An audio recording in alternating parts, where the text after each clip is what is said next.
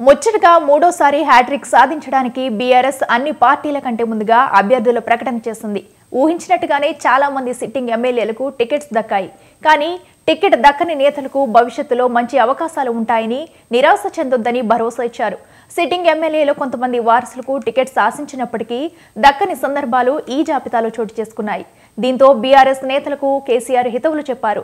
వచ్చే ఎన్నికల్లో బీఆర్ఎస్ ఘన విజయం సాధిస్తే అందరికీ మంచి భవిష్యత్తు ఉంటుందని నేతలను ఓరడించే ప్రయత్నం చేశారు. బీఆర్ఎస్ జాబితా ప్రకటనలో చోటు చేసుకున్న పలు అంశాలపై ప్రత్యేక కథనం.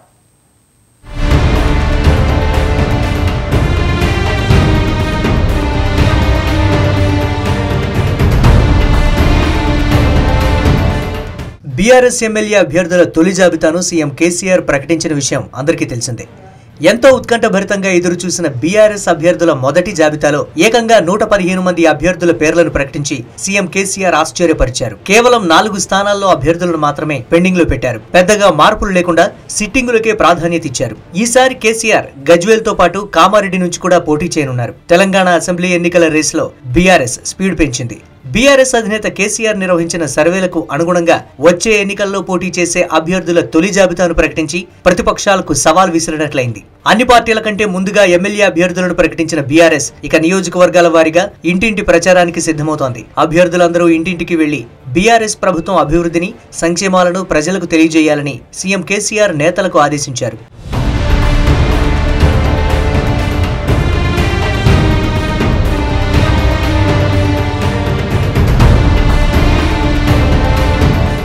అభ్యర్థుల జాబితాలో కేవలం ఎనిమిది స్థానాల్లో సిట్టింగ్ ఎమ్మెల్యేలకు కేసీఆర్ హ్యాండ్ ఇచ్చారు. ఆసిఫాబాద్లో ఆత్రం సక్కు ఖానాపూర్లో అజ్మీరా రేఖానాయక్ స్టేషన్ ఘనపూర్లో రాజయ్య ఉప్పల్లో భేతి సుభాష్ రెడ్డి వైరాలో లౌడియా రాములు నాయక్ కోరుట్లలో కల్వకుంట్ల విద్యాసాగర్ రావు వేములవాడలో రమేష్ చెన్నమనేని కామారెడ్డిలో గంప గోవర్ధన్ బోధ్లో రాథోడ్ బాపురావుకు ఈసారి నిరాశ ఎదురైంది. ఆసిఫాబాద్ నుంచి కోవా లక్ష్మి ఖానాపూర్ నుంచి బుఖ్యా జాన్సన్ రాథోడ్ నాయక్ స్టేషన్ ఘనపూర్ నుంచి కడియం శ్రీహరి ఉప్పల్ నుంచి బండారి లక్ష్మారెడ్డి వైరా నుంచి బానోతు మదన్లాల్ కోరుట్ల నుంచి డాక్టర్ సంజయ్ కల్వకుంట్ల బరిలోకి దిగనున్నారు. సిట్టింగుల్లో కొంతమందికి టికెట్ రానంత మాత్రాన నిరాశ చెందాల్సిన అవసరం లేదని అనవసరంగా ఆవేదన చెంది భవిష్యత్తును నాశనం చేసుకోవద్దని నేతలకు హితవు పలికారు భవిష్యత్తులో అందరికీ సముచిత స్థానాలు దక్కుతాయని నేతలకు భరోసా ఇచ్చారు. రాజకీయ జీవితం అంటే కేవలం ఎమ్మెల్యేగా నియోజకవర్గానికి పనిచేయడం కాదని ఈ సందర్భంగా నేతలను ఉద్దేశించి చెప్పారు. టికెట్ దక్కని వారికి భవిష్యత్తులో ఎమ్మెల్సీ రాజ్యసభ ఎంపీ జిల్లా పరిషత్ చైర్మన్లు అయ్యే అవకాశం ఉందని టికెట్ దక్కని బీఆర్ఎస్ నేతలను ఊరడించారు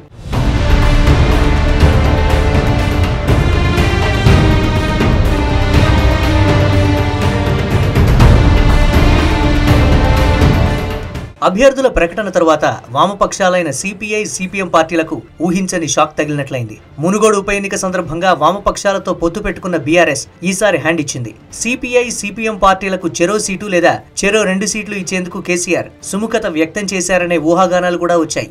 కానీ లిస్టులో ఎక్కడా వామపక్షాలకు చోటివ్వలేదు అయితే వామపక్షాలతో పొత్తు ఉంటుందనే ప్రచారానికి గులాబీ దళపతి చెక్ పెట్టారు. కమ్యూనిస్టులతో ఎలాంటి పొత్తు ఉండదని చెప్పకనే చెప్పారు.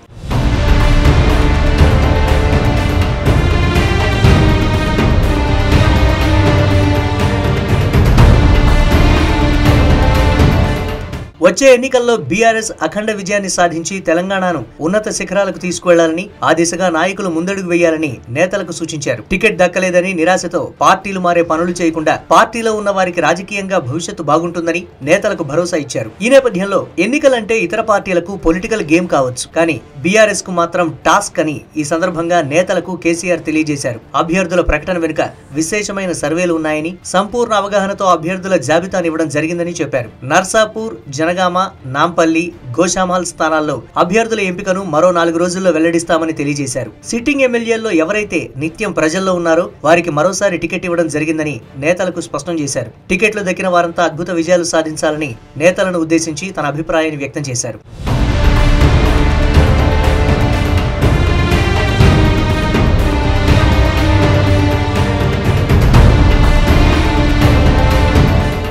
రాబోయే ఎన్నికల్లో తొంభై ఐదు స్థానాల నుంచి నూట ఐదు స్థానాల్లో బీఆర్ఎస్ ఘన విజయం సాధిస్తుందని కేసీఆర్ ధీమా వ్యక్తం చేశారు. పాత రంగారెడ్డి హైదరాబాద్ జిల్లాల్లోని మొత్తం ఇరవై తొమ్మిది స్థానాల్లో బీఆర్ఎస్ మజ్లిస్ గెలుస్తాయని ఆశాభావం వ్యక్తం చేశారు. కేవలం ఎమ్మెల్యే స్థానాల్లోనే కాకుండా మొత్తం పదిహేడు ఎంపీ స్థానాల్లో విజయం సాధిస్తామని స్పష్టం చేశారు.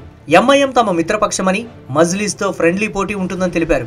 ఈ సందర్భంలోనే అక్టోబర్ పదహారున వరంగల్లో సింహగర్జన సభ ఏర్పాటు చేసి బీఆర్ఎస్ ఎన్నికల మేనిఫెస్టో విడుదల చేస్తామని కేసీఆర్ తెలిపారు. ఆ రోజు వరంగల్లో భారీ ర్యాలీ ఉంటుందని కేసీఆర్ చెప్పారు.